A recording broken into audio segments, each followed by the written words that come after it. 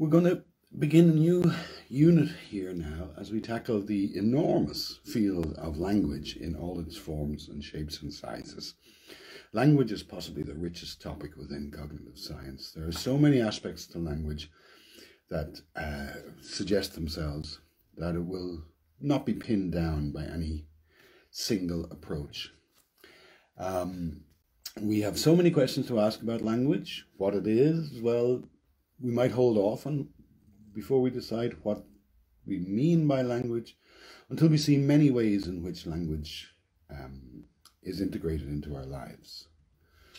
So, if I asked you why do we have language, the first answer would normally be communication. I would say, why do we have language? You say, well, we talk to each other, or we write to each other, we exchange messages, we, we communicate using language. And that's obviously right, but it's by no means the whole story. And before we build up to looking at how we perhaps communicate with each other, there's a second role for language which suggests itself, and that is thought. Now, those look like two rather different roles. I don't like to use the word functions because that suggests that someone knows what's going on. But certainly, our use of the term language describes patterns of communication, but also seems to describe something around that rather nebulous idea of thinking. Perhaps there's more to language than these two roles. Now, in the first unit, we met the collision between philosophy of mind, drawing from the computer metaphor, and language theory, linguistic theory, in the work of Noam Chomsky. And we met it primarily here in the person of Jerry Fodor, the philosopher, who wrote this book called Language of Thought. And we noted that thinking is not something that we have a definition for. We speak with some confidence of thinking, but it's not clear what we mean when we use that word. Um, so just like so many words in cognitive science, like mind, for example, we will hold off on being too determinate about what thinking means and see if we can articulate some, perhaps, subsets of what we mean by thinking, some ways in which this word can be worked into something we can run with. And in this, this is where Jerry Fodor comes in because he's suggesting that um, some of what we mean when we say thinking, not all, but some of what we mean when we say thinking, is language like. It has structure like sentences. Thoughts have a beginning and an end. They have se- their sequences, and furthermore, they often have the appearance of statements or sentences. Um, one of the insights, key insights in linguistic theory, was that you can take uh, small elements like words, combine them according to rules, and in so doing produce complex things, which are going to be sentences or utterances, um, where the complexity arises from the sequencing of the elements. Now, back when I was a kid, we used to rob orchards. We would climb over walls and go in and steal apples. Imagine, if you will, three young boys planning on stealing some apples and they might have a thought. One of them might have a thought, which I'm going to write here as a sentence, but which I want you to think of as more of a, as an internal plan. If three of us sneak in the back, we can steal at least a bag of apples without getting caught. It seems familiar. I can totally believe that I had that kind of thought prior to stealing apples from an orchard. Um, statute of limitations protects me, I think. This is a complex thought. Look what all is in this thought. How many of those core elements of actually cognition are in here? So there's quantity. We've got three. We've got not only an action, but a, a mode of action, sneaking. We've got a counterfactual. There's an if there, which means that we're, count, we're considering two possible scenarios doing this and not doing this. As well as quantity in three, we've got approximate quantity in at, at least a bag of apples. And furthermore, after apples, we've got this last bit about without getting caught, which also seems to play with possible futures in which one, one of which we get caught and another one we don't get caught. So this sentence is really, really complex, and it's questionable whether it would be possible to have this thought without language. It seems like the kind of structure provided by language seems to provide, as it were, the, the bare bones of this thought. Jerry Fodor coined the term mentalese to refer to this role of language-like sequences of units in structuring thought. Now, this is not the last word on the topic by any means. This is not a completely fleshed out idea. So you're free at this stage to um, introduce your own concerns. Ask yourself, perhaps think about this over the next few days. When would you describe yourself as thinking in language? And if so, is if it's language, is it, is it how like speech is it?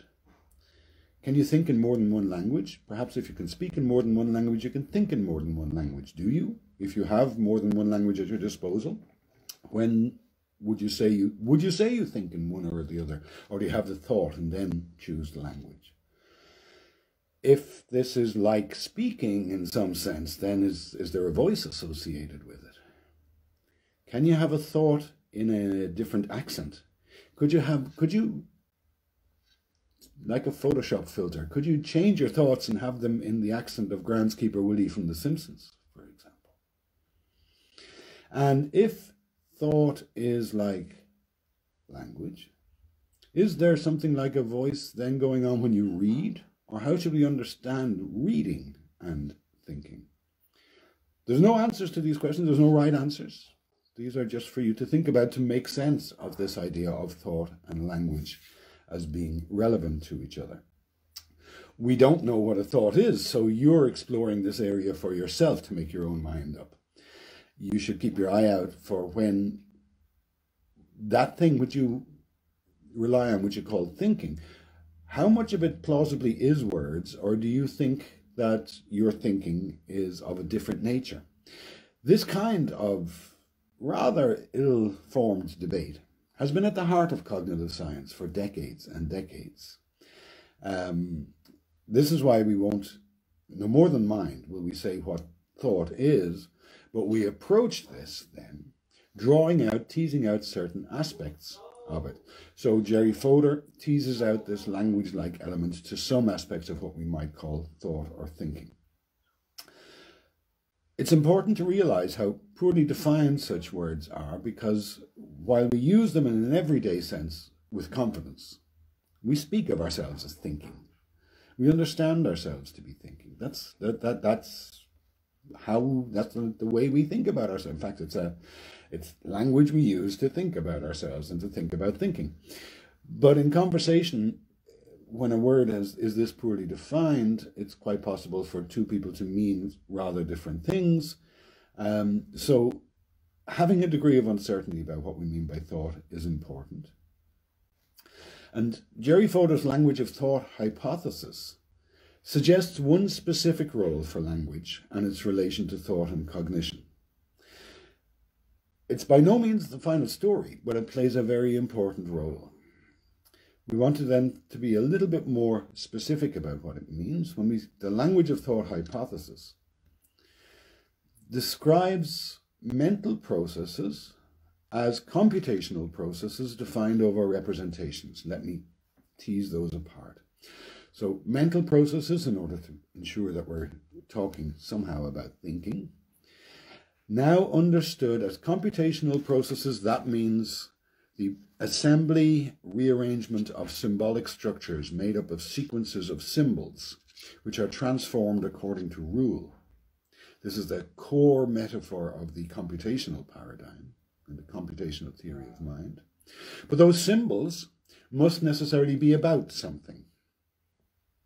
That's why we call them representations. Representations are things that stand for something.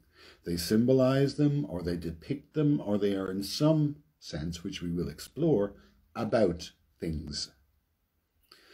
This is true for words, it's true for images, and we'll be exploring the concept of representation in some depth. The computational theory of mind is very much concerned with thinking along these lines, elaborating our inner mental life along these lines, and then asking, well, what kinds of symbols assembled using what kinds of rule-based processes, manipulated using what kinds of rule-based processes, uh, give rise to thought. Now, with this, we've opened up something we started. Language has to do with communication. That's public. We can see people communicating. We can see people talking to each other in the bar, if we ever get to a bar again. But thinking is very much more usually conceived of as something that one person does at a time. So we're talking here about inner speech.